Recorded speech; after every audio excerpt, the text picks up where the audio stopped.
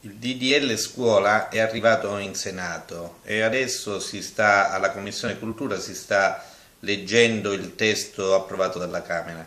E la minoranza del PD, in capo a Corradino Mineo, ha eh, evidenziato quello che già io avevo detto in eh, più circostanze pubbliche, che il DDL scuola del governo Renzi non è altro che il Jobs Act della scuola pubblica. Effettivamente sono norme che eh, mettono un preside, che è considerato un preside padrone, che accentra tutti i poteri sulla sua persona per eh, tenere sotto controllo i docenti e gli insegnanti.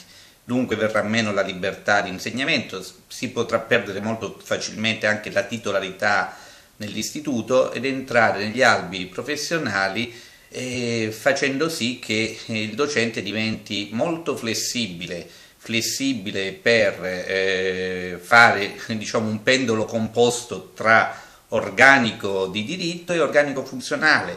Potrà essere spostato a livello regionale qualora vada in sovrannumero, addirittura in esubero e non più solo in ambito eh, comunale o provinciale.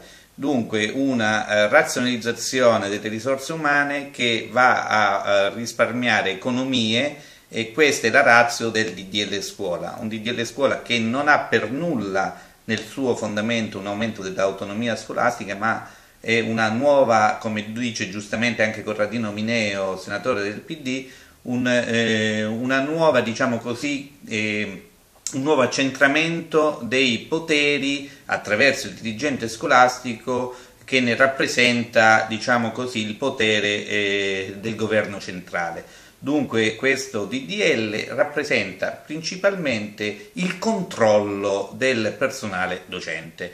Questo è, per questo motivo gli emendamenti devono essere radicali e tali da eh, spostare eh, il, eh, le assunzioni in un decreto legislativo che mh, vada, faccia il suo corso.